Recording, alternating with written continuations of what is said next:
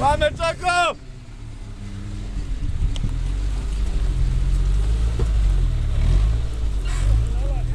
Εγώ θα πω από εδώ κατευθείαν.